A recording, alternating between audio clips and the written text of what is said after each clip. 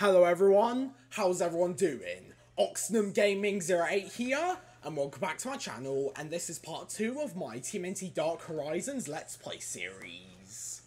If you remember in the previous episode, we started our adventure underground and used Leonardo and defeated Buttercup, and it looks like in today's episode we are going to be travelling further underground and using Raphael who, if you know of the show, is the hottest of the heads.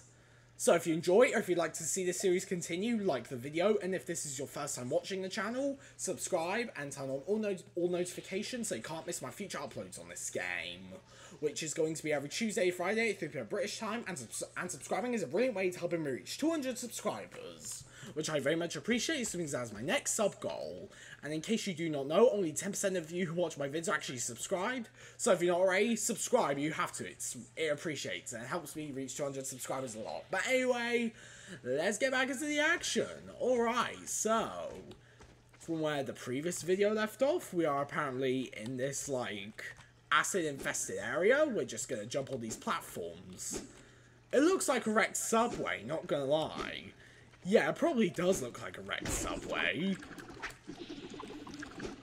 And in case you want to know what Raphael's special ability is, because with Leonardo's special ability, yeah, Leonardo's special ability is just the jump slam. Yeah, Leonardo's special ability is just a jump slam, but Raphael's special ability is he can... Yeah, Raphael's special ability is he can, like, dash through enemies and it injures them. Yeah, so if you ever feel like using weapons for experience, just dash through your enemies constantly and then it'll kill them. I thought their blood was red for a second. Oh nice, got some more shurikens. And in case you're wondering why the colour of the health bar and the shurikens and the word score is the same colour as the character's bandana, it just is. I don't know why. It's always quite cool to see a shadow version of all the ninjas where they're all blacked out. Yeah because black's my favorite color. Yeah, and that, but it's just because I like dark stuff in general, to be honest. Alright, I think the more you hit an enemy, the more damage they receive. Just go dash right towards them, saves me having to defeat them later. I'm just gonna, like, run here. I'm gonna try and kill that guy. Run all you can! My dash will eventually kill you! Hey you, get back here! I'm not gonna stop until he's dead, no matter what happens. And plus, why does that... I don't know why that beast sounds like a monster. Yeah, that beast sounds like a giant, deep-voiced, muffled person. Wait, let's hear that again.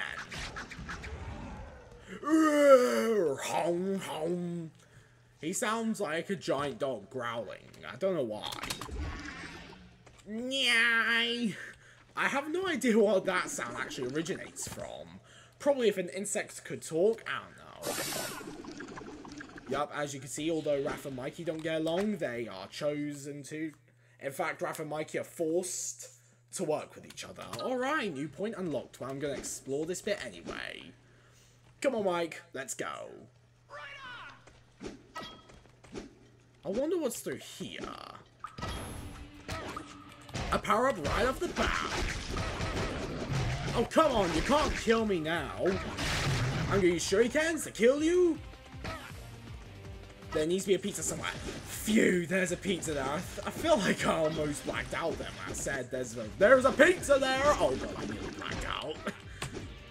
I was basically doing my impression of elderly Raphael. No, I fell. You do not fall as you are Raphael, the hottest head of the gang. I mean, they're technically all are hotheads equally. I'm just gonna play it safe right here and then traverse all the way here. I'm crouching like I'm using stealth in TMNT Shadow Heroes. That's another Flash game I actually played. Right then. Let's just see what the hell is down here. Go grab that and a pizza! Pizza time! I'm just going to use all this to kill you. Like I can destroy you in one shot! Don't know why I'm sounding that, like that guy on the internet for some reason I've heard of. You probably might have heard of him either. I'm not gonna say his name as soon as I'll get monetized otherwise. Alright then, let's just jump up here and then up here. Wait, I already got that lever, did I not? Let's just go through it. Eh, there were stairs there, but I'm not going to traverse them anyway. Because we can walk up here now. Oh, come on! Well, at least headbutting it kills it. At least headbutting the thing kills it. Let's just go through here first. Let's see what's through here. Oh, it's just a pizza. In case you're wondering why I'm doing an Italian accent for that, it's because I actually went to see the Mario movie for the Mario movie for the first time in my life today by the time I'm recording this. Oh god, not the froglets. Hey you, I'm too famous to die. You can't kill me right here. Not screw that, I'm just gonna go all the way there. You can't kill a Kung Fu frog. Yeah, and, in case you've been paying attention to the Ninja Turtles show, Spider Bytez does actually call the Turtles Kung Fu Frogs. If I had to choose one way to heal, whether it be pizza or the respawn points, I'd have to say the checkpoints because... Yeah, I'd have to say checkpoints because you can actually... You can actually regain full health that way. Yeah, you can. Let's just drop down here and see what's through here. You see our giant glowing worm thing? You know what? I'm not even gonna pay attention. I'm just gonna get the hell out of there. Hey you, you're standing on my checkpoint, stupid purple frog that can teleport. That is like a purple variation of his green disgusting brother. Wait, what's the frog's death sound? Meow. like meow. Dun dun dun dun dun dun dun dun dun dun dun. What, like the song Neon Blade is what he sounds like? Not gonna lie, the frog actually does kind of remind me of the song Neon Blade. I'll leave a link in the description for that song if you want to give it a listen to. Yeah, Neon Blade by Moon That wasn't actually the... Although you might be a bit surprised, but the yeah, although you might not agree with me, the first MoonDeity song I actually heard was Wake Up. I'll leave a link in the description for that song as well.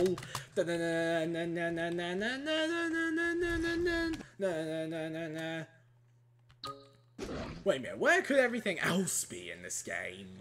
I seriously don't know why. Alright then, let's just go down here and grab a pizza and then jump here, grab some shurikens. They're not they're not shurikens anymore, they're shurikens. Nope, they're not pronounced shurikens anymore, they're shurikens. Oh come on, you just had to hit me with acid, didn't ya? Yo, I'm getting out of here before these enemies kill me. Because I haven't played this game in like years. I can't remember how long it's been exactly since I last played it, but it was a good while actually. Nope, that just leads down to the abyss. Let's just check through here. No, no, no. Sorry, I was just sorting something out. Oh, come on! Weapons are back to normal. Are you kidding me?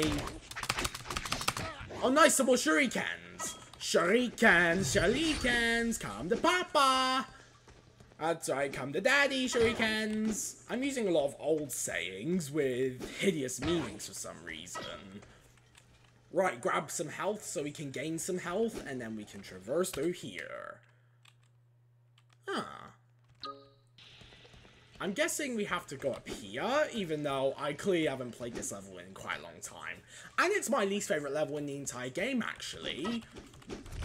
Oh nice, 9 minutes into it and we're already in the area we reach before we do the boss battle. I'm just kill this dumb frog and Roffa here. I'm just calling those things Roffers because they sound like Rolf. Yeah, they make a noise that reminds you of the word Rolf, if you know what that is. I don't actually know if Rolf is actually a word. I don't really know why. But anyway, let's just drop down here. Time to fight the centipede. Now the Centipede is quite an interesting boss battle actually, because you actually have to wait for him to stop before you can attack his heart. And in case you want to know what his heart is, it's this thing that goes green when you hit it. Listen. Yeah, that's right, Centipede deserves a screaming pain. Because I'm hurting his heart on the inside!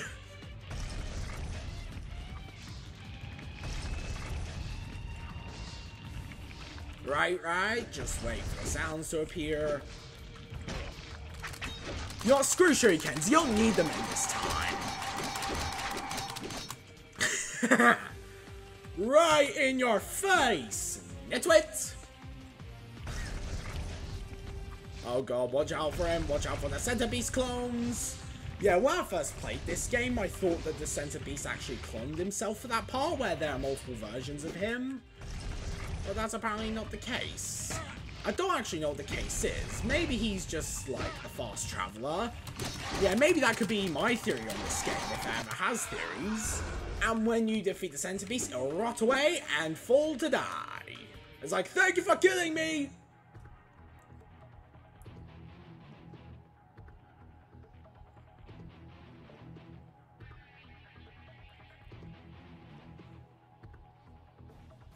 Mutated mushrooms?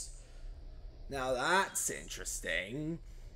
Alright guys, anyway, like that, I'm going to end part 2 here. If you enjoyed, like. If you have not already, subscribe. And I'll see you all in the next episode, where it looks like we're playing the second to last level in the game and using Donatello. Anyway, I shall see y'all then. Goodbye, have a great day, have fun, and stay safe.